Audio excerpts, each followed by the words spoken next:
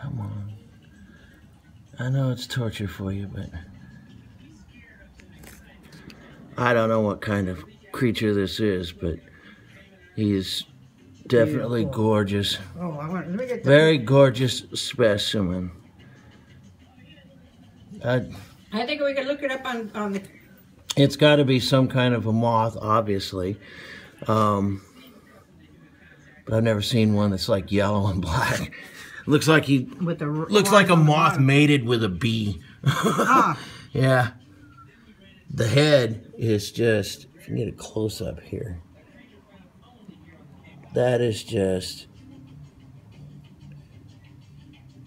wow. Anyways, that's right at our door.